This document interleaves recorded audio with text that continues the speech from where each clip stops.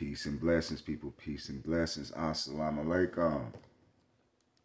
What it do, what it do, what it do, what it do. Man, this is your boy Musa, man, bringing you flame.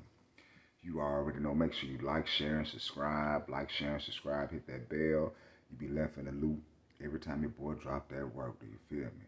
Shout out to the black YouTube out there. It'd be Big Brother Ticket TV, Carcino, Kwame Brown, the lead attorney, J.R. Wisdom, Mr. Palmer, Too Raw for Sports, Too Raw for TV, Kicking with Mr. Mars, LC Predator Catcher, Corey Holcomb, J.D. Black, Professor B1. I'm telling you, homie, these brothers be bringing that flame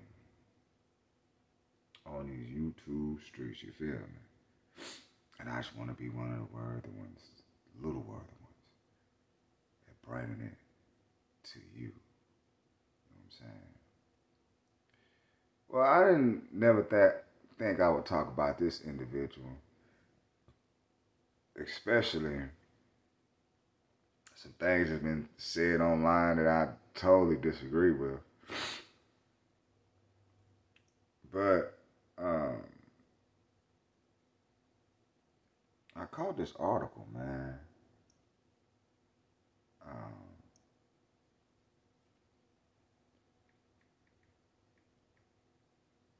uh, about Terry Crews, man.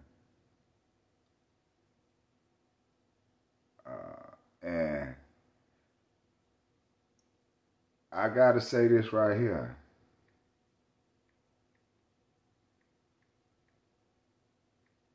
I kind of got to respect the grind, especially early on in his career. Cause it was some groove. I played football, and you know, to make it to the league, you gotta be a, you gotta be a beast in some sort of way.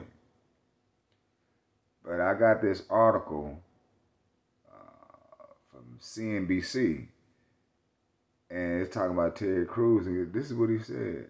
He had uh, I would have made more money at McDonald's than I did in the NFL. How is this possible?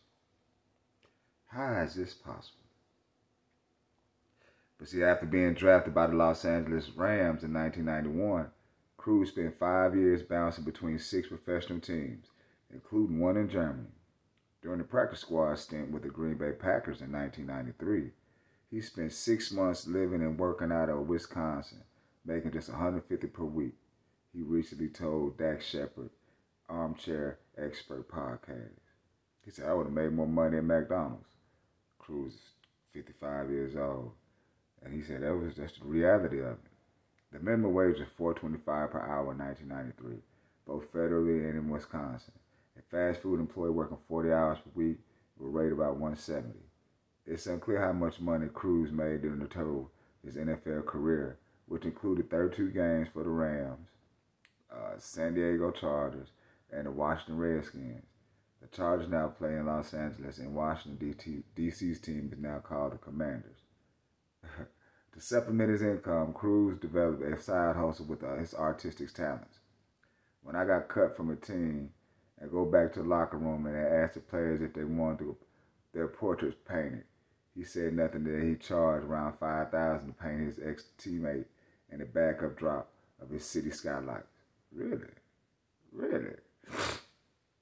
Crews likely would made more money today in the NFL practice squad uh, players with two seasons of experience made a minimum of fifteen thousand four hundred per week last year, and nearly fifty thousand per week when elevated to a game day roster.